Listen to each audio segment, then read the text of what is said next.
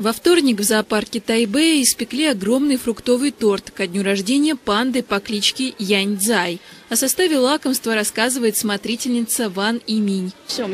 Специально к этому дню мы испекли зеленый торт, состоящий в основном из листьев бамбука.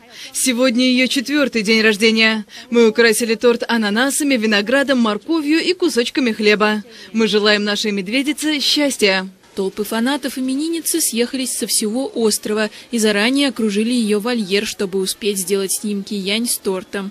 Правда, звезда дня съела всего несколько кусочков.